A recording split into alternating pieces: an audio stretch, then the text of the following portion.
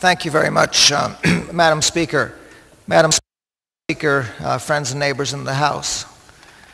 Two nights ago, uh, I heard from uh, Representative Hall a summary of the uh, standings bill. I was um, very, very impressed. How refreshing it was to have a standing bill before us that was not uh, encumbered by partisan political issues. However, things change very quickly around here. And today, a very short time later, we're debating the issue of judicial selection. And I think it's a sad day for the state of Iowa. To call what we have before us any sort of a compromise is laughable. It is what it obviously is the latest of many desperate attempts to corral 51 votes for a piece of very questionable legislation. It was a bad idea when it was first proposed. It was a bad idea in the many configurations of it that have been thrown together to convince concerned Republicans to get on board, and it is no better this morning. It is bad because it politicizes our courts. It may be a little less stark than earlier versions, but that doesn't make it right. The bottom line is the same. It injects politics where it has no place in our courts. And as the old saying goes, be careful what you pray for. It may sound like a good deal for the majority party this morning, but it could very well be a good deal for the Democratic Party a few years from now. Is that the kind of court we want? One that changes with the political winds? I certainly hope not. It's bad because the people of Iowa have not asked for this. In fact, all indications are that they have confidence in our present judicial system. Where this bill came from is anybody's guess. I certainly didn't hear about it on the campaign trail.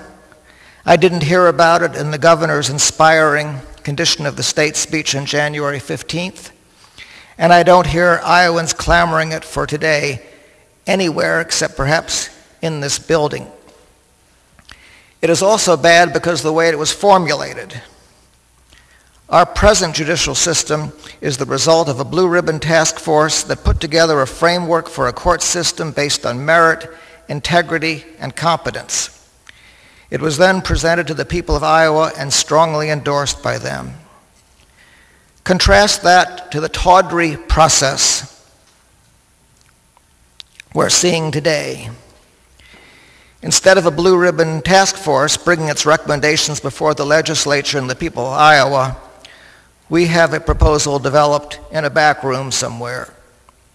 Since the original proposal didn't have the votes to get it out of committee, it was uh, revised to round up the necessary votes.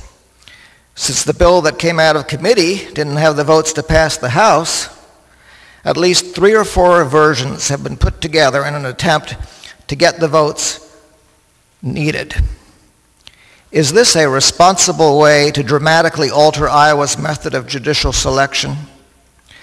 Little or no input from the courts or the legal community, little or no opportunity for the public to react, and yet another version to round up that 51st vote from exhausted legislators on the final day of the session with the debate limited by time.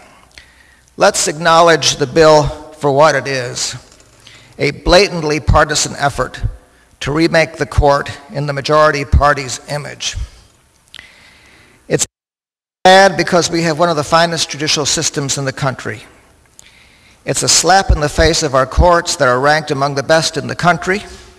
It's a slap in the face of the nominating committees around the state who spend countless hours selecting judges based on their work ethic, integrity, and competence, not on partisan considerations. It's a slap in the face of our judges who work tirelessly to mete out justice.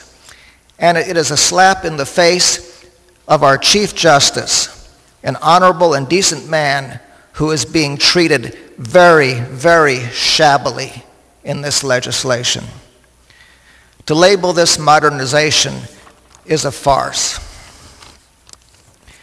To the freshman class who are witnessing this spectacle today, and to any of the folks we represent who are here or who are observing this, you are seeing firsthand the dark side of democracy.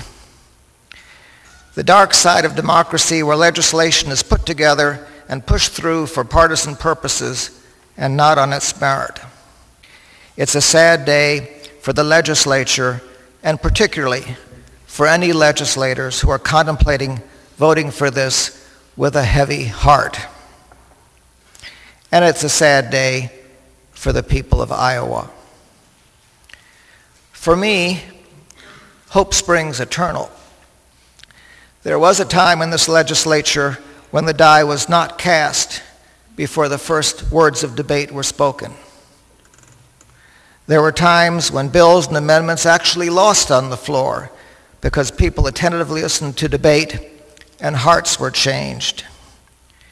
I would like to think that those days are not gone for good.